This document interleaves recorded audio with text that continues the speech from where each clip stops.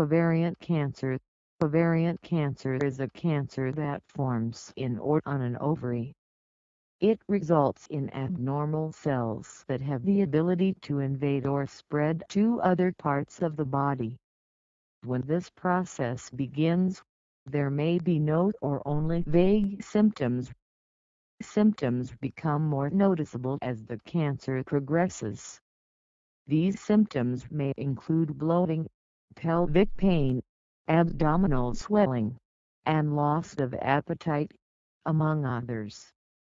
Common areas to which the cancer may spread include the lining of the abdomen, lymph nodes, lungs, and liver.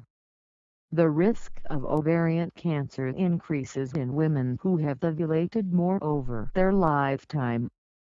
This includes those who have never had children those who begin ovulation at a younger age and those who reach menopause at an older age. Other risk factors include hormone therapy after menopause, fertility medication, and obesity. Factors that decrease risk include hormonal birth control, tubal ligation, and breastfeeding. About 10% of cases are related to inherited genetic risk.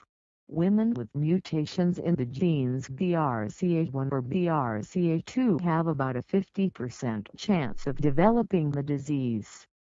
The most common type of ovarian cancer, comprising more than 95% of cases, is ovarian carcinoma.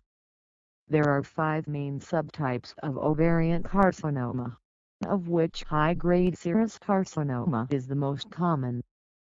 These tumors are believed to start in the cells covering the ovaries, though some may form at the fallopian tubes. Less common types of ovarian cancer include germ cell tumors and sex cord stromal tumors. The diagnosis of ovarian cancer is confirmed through a biopsy of tissue, usually removed during surgery.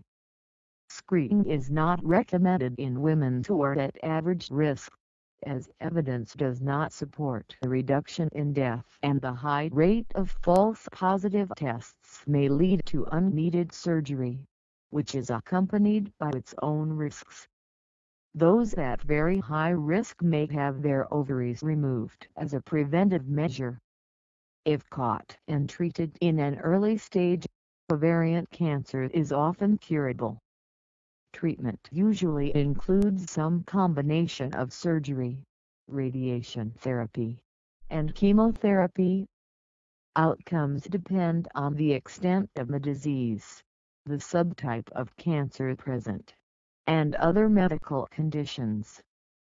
The overall five-year survival rate in the United States is 45%. Outcomes are worse in the developing world in 2012, new cases occurred in 239,000 women. In 2015 it was present in 1.2 million women and resulted in 161,100 deaths worldwide.